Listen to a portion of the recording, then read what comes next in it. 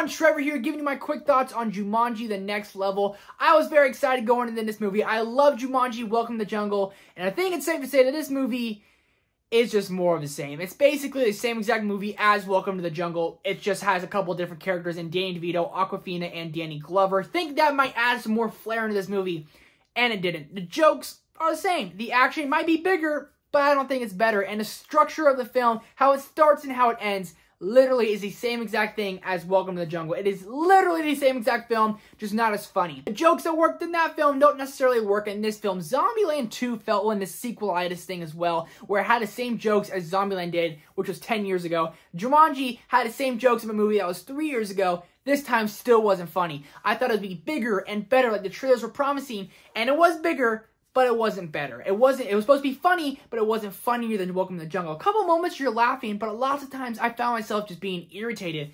Dwayne Johnson as um, Danny DeVito, I was really excited for. It. And I was just annoyed. Dwayne Johnson talking the whole time as like Danny DeVito had like, oh my hips feel like butter. I'm like, oh, is that Spencer? Well, yeah, Spencer. They're talking kind of like a Jersey housewife. God damn, I was so irritated. And I love The Rock. I love Kevin Hart. I love Jack Black. Three of my top 10 favorite actors working today and they were just irritating. Karen Gillan, I love her so much. She really just, she really just, she saved the movie for me. She gave me the only point of kind of enjoyment of this movie. And the characters switch around in different bodies, and when Karen Gillan ends up getting switched into Fridge, that might be a minor spoiler.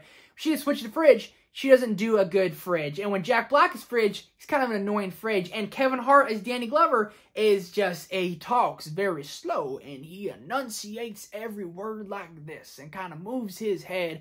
And my God, if this is irritating you now, then you should not see this movie. I don't want to hate on this movie because I love all the people in this movie. I love them so much. I was so excited for this movie but I'm just disappointed. If you guys are a fan of Welcome to the Jungle, you might find something you like in here. But if you were kind of skeptical on seeing this movie, then I would say skip out on this one because it's really just the same. But what do you guys think of Jumanji The Next Level? Let me know down in the comments below. Sorry for the negativity. Tomorrow I'm going to try to have a 6 Underground Netflix review. And on Sunday, a little surprise video. Very excited for all of it. Thank you guys for watching. Do me a favor and go see a movie. I'll see you guys next time.